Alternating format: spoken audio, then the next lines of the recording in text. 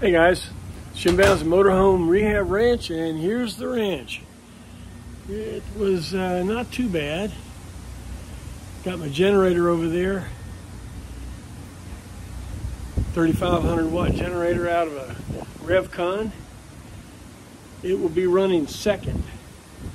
Right now, we have uh, we have the Onan running out of JayGee. Yes, indeed. There he is. You hear him running along.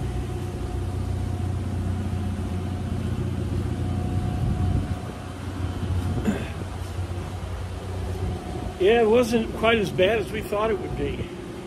A lot of wind, as you can see. There's there's a lot of a lot of berries that I'm going to have to sweep out. But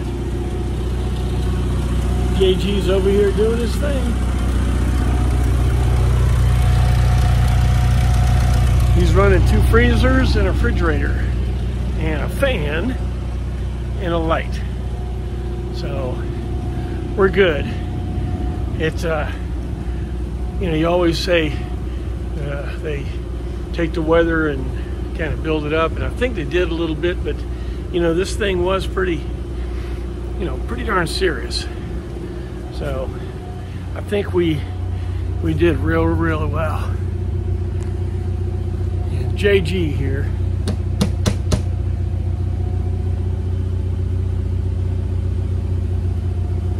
He took care of us.